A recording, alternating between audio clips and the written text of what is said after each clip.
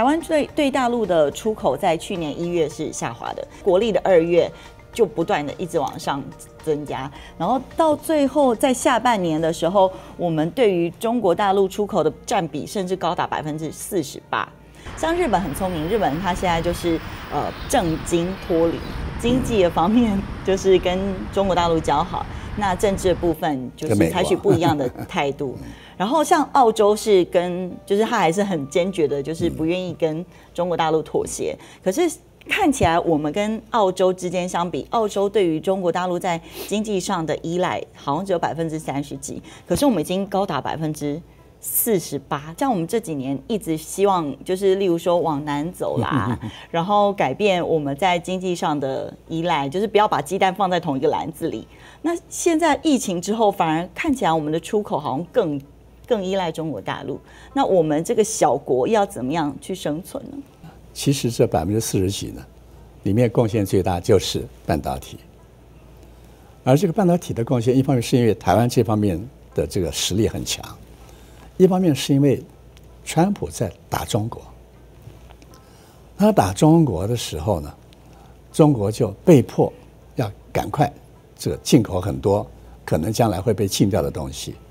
所以去年下半年，台湾对大陆出口快速增加，其实有一个时间点，那就是川普宣布要禁止对华为对出口这个高级芯片的时候，就在那个之前呢，大陆就拼命在囤积相关的东西。这个其实是台湾去年对大陆进口出口快速增加的最主要的因素。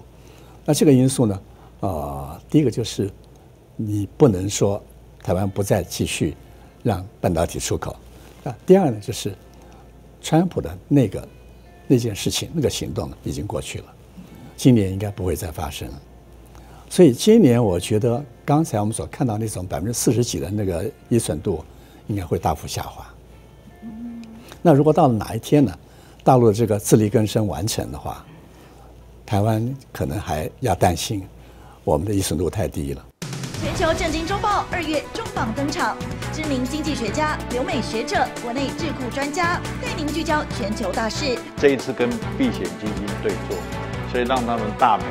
关注美中台关系。大陆的军事力量要开始突破美国的封锁。地方或是民众不同意啊，来美猪或来猪的进口，其实是增加啊政府的谈判筹码。